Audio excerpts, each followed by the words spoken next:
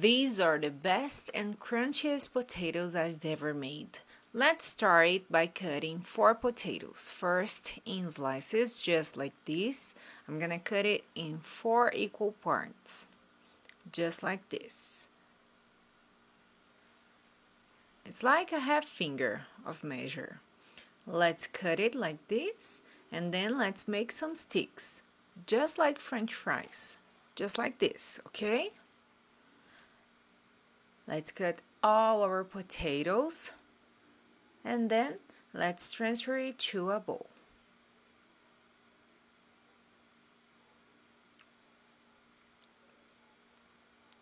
After that, I'm gonna break two whole eggs.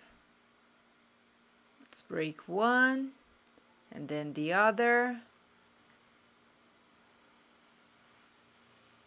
And let's season it with 1 teaspoon of salt, 1 teaspoon of paprika, and 1 teaspoon of oregano. And now let's add 3 tablespoons of wheat flour. Now let's mix everything until all these ingredients are well combined.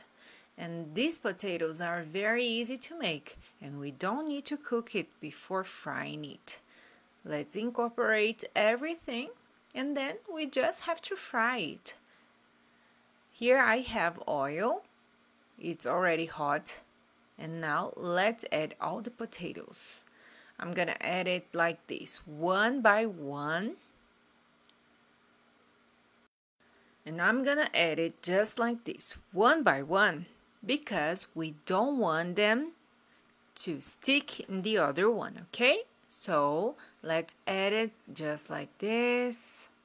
A little bit of the potatoes. Now let's fry it and with the help of two forks, let's turn in it.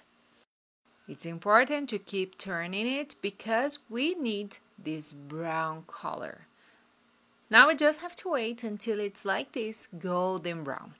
Now let's take them off the oil and then let's put it in a plate with paper towel so that we can take off the oil excess.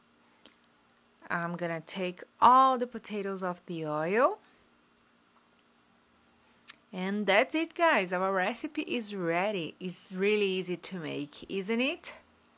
Now we just have to enjoy these amazing potatoes. Thank you for watching our videos and for following our recipes. It's a pleasure having you all here with us. Hope you enjoyed this recipe and I see you in the next one. Now guys, excuse me, but I'm gonna enjoy these amazing potatoes. Bye bye!